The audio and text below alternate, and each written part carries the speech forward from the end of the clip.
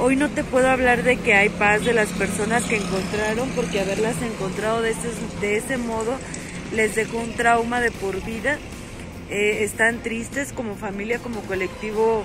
La verdad ahora sí ni siquiera tengo palabras. Estamos muy, muy tristes, agradecidas con la mascota que desenterró esta mano humana y que llevó a esta fosa clandestina.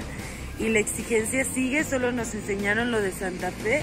La exigencia es que nos enseñen la galería de todas las fosas clandestinas que ha encontrado la Fiscalía General del Estado y el día de hoy les demostramos el por qué es efectivo que las veamos.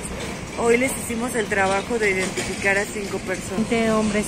¿Y de las identificadas? Este, por respeto a las familias y para darles su espacio, no voy a hablar ahorita. Son dos mujeres y tres masculinos. Y tres masculinos. ¿Solamente fue Santa Fe? Solo fue No se cumplió entonces el hecho de que les enseñaran el de... Se va a cumplir porque quedaron en darnos nuevas fechas. Les vamos a mandar un listado de las cosas que nos interesa ver y vamos a estar agendando fechas como la del día de hoy para venir de grupos de 15 personas. Más bien aquí yo haría un llamado a la sociedad a que vengan a pedir la galería porque eh, hay muchas personas que tienen muchos tatuajes muy visibles y que pueden ser identificadas de manera pronta. ¿Cuántas personas ingresaron? Eh, el día de ayer alrededor de 20, el día de hoy 18.